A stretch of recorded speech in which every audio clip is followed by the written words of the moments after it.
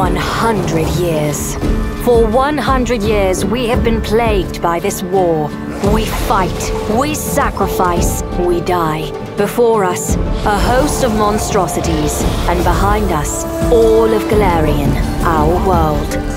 Their master, the demon lord Deskari, thinks he can break our spirit. He is mistaken.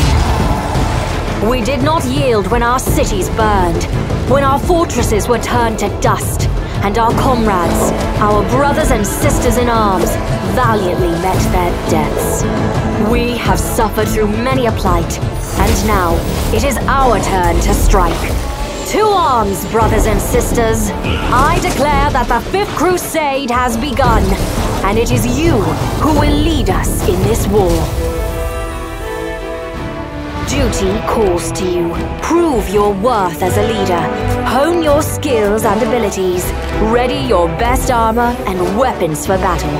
Mount your trusty war steed and charge forth, and we shall follow.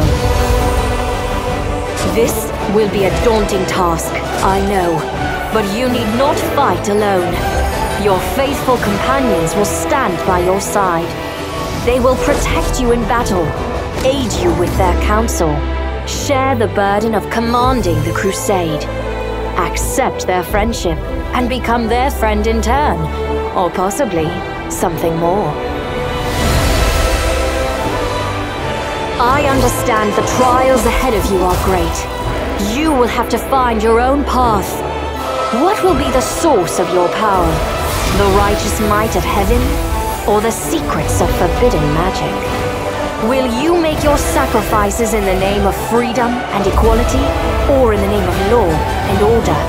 Will your enemies flee at the very sight of you?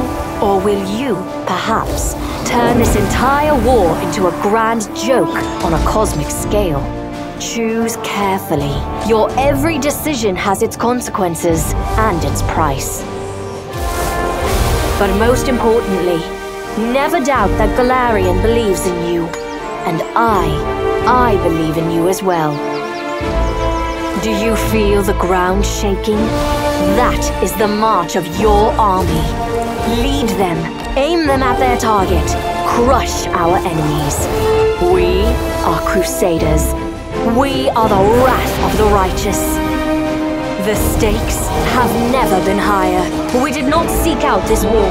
It invaded our home. And our world now depends on you and you alone.